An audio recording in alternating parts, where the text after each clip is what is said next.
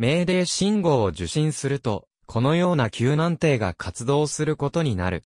命令とは、無線電話で遭難信号を発信するときに、国際的に使われる、緊急用符号語。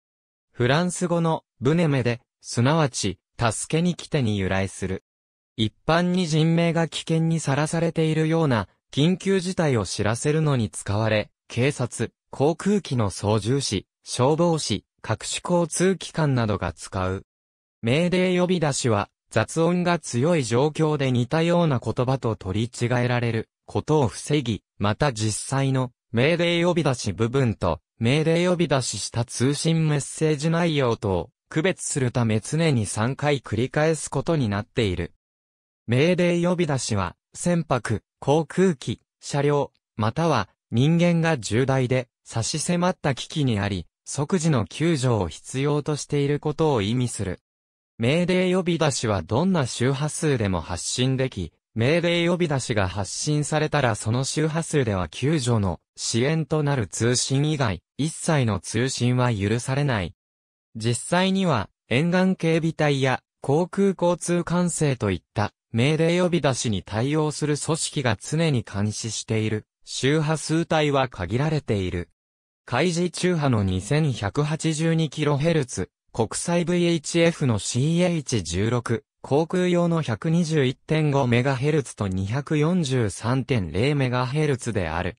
命令呼び出しは、モールス符号の SOS に対応し、電話での119番に相当する。沿岸警備隊が命令呼び出しを受信すると、救難艇やヘリコプターが現場に向かう。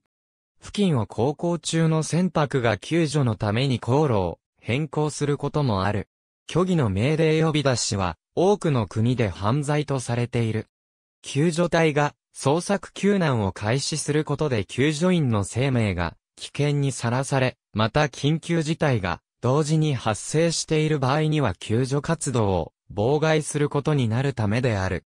アメリカ合衆国では虚偽の命令呼び出しをすると最高6年間の懲役と最高25万ドルの罰金を課せられる。命令呼び出しをした航空機は管制塔より最優先で誘導されるため、他の航空機は進路を妨害しないように着陸の順序なども変更される。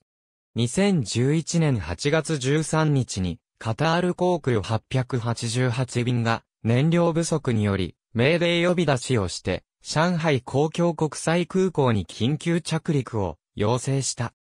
管制塔は QR888 便の前方を飛行していた吉祥航空船112便に着陸を中止し順番を譲るよう指示を送ったが、1112便の操縦士は時期も燃料不足であると主張して、この指示を拒否し、航路を譲らなかった。この事案に対し中国民航化統地区管理局は、緊急着陸を妨害したとして1112便の機長の国内免許を剥奪、吉祥航空に3ヶ月間のペナルティを与えた。沿岸警備隊に連絡したい場合、VHF の CH16 で、コーストガード、コーストガード、コーストガード、ディスイズと呼び出す。船舶などの無線を扱うには、免許が必要な国がほとんどだが、緊急の場合は免許のないものでも無線機を使用することが許されている。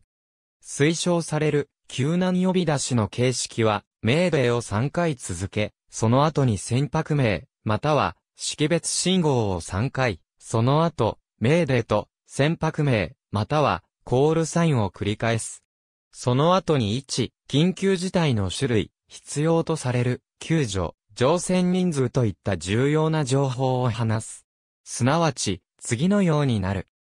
命令、命令、命令。こちらは、南察地、南察地、南察地、命令、南察地。1は、北緯54度25分、西経16度33分。火災が発生し沈没しつつある。すぐに救助されたし、乗船人数は4名。命令、南察地、オーバー沖合に離れていて、命令呼び出しが、沿岸警備隊まで届かない船舶の場合、付近の船舶による、命令リレーが使われることもある。そして、しばらく応答がないか確認し、応答がなければ、再び最初から繰り返す。命令呼び出しは、1923年に、フレデリック・スタンリー・モキファードが考案した。ロンドンのクロイドン空港の主任無線技師だった、モキファードは、緊急時でも操縦士や地上スタッフが理解しやすい、遭難を示す単語を考えるよう依頼された。当時、最も多くの航空機が行き交っていたのは、パリのルブルジェ空港だったので、フランス語のメデからメーデーを提案した。ブネメデは、助けに来てを意味する。音声無線で重要な情報を伝える、符号語として国際的に使われているのは、メーデーだけではない。緊急メッセージの送信者は、優先度の低い通信に割り込む権利を有する。命令以外のこれらの用語を適切な理由もなく、音声無線で使用すると、非難され、国によっては犯罪になる。これらの緊急呼び出しも、やはり3回繰り返す。例えば、パンパン、パンパン、パンパンなどである。命令リレーは、遭難している船舶の代わりに、別の船舶から発信する呼び出しである。ある船舶が、命令呼び出しをして、それに、沿岸警備組織などが応答しない場合、それを受信した船舶は2分間待って、命令、リレー呼び出しを行い、遭難している船舶の代わりに、沿岸警備組織などに知らせるべきとされている。命令、リレー呼び出しでは発信している船舶のコールサインを使うが、元々の命令を発信した船舶の名称と位置を伝える必要がある。命令リレー呼び出しは、遭難した船舶が沿岸警備組織などから遠くにいて無線が直接繋がらない場合や通信機が故障しているなど遭難した船舶が命令呼び出しできないのを目撃した場合などに使われる。パンパン、すなわち故障に由来は即刻の救助を必要とするような重大で差し迫った脅威ではないが機械が故障した場合や病人が発生したなどの状況を知らせるのに使われる。例えば、スイス航空111便墜落事故では、スイセール111ヘビーズデクレアリングパンパンパンという無線連絡があったイギリスでは、医療問題の場合は、メディコを後ろにつけていた。航空機では、ジュネーブ条約に保護された、紛争地における傷病者の輸送のみに、パンパンメディカルという記号が使われる。パンパンメディコは今では、正式には使われていない。航空関係では、デクレアリングエマージェンシーというフレーズが使われることがある。命令とほぼ同じ意味である。セキュリテ、すなわち安全性に由来は安全性に関わるメッセージであることを示す。例えば航行上の障害があるとか、天候に関する情報などである。以下に挙げる呼び出しは、救助を求める船舶とそれに対応する救助を行う機関のみが主に使用する。シロンス命令、またはシロンスディストレスは、その周波数を問題の船舶と救助にあたる機関が占有して使うことを意味する。つまり他の無線局はその周波数での発信をやめ、シーロンスフィニーが放送されるまでその周波数では、救助に関する通信しか行わない。シーランスはフランス語のシランス、すなわち沈黙に由来する。航空関係では同じことをストップトランスミッティング命令と表現する。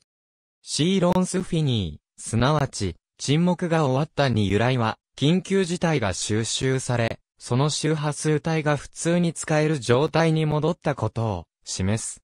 通信停止状態を一部解除する場合は、プロドンスを使うこともある。航空関係では、ディストレストラフィックエンディドが、シーロンスフィニーに対応する。ありがとうございます。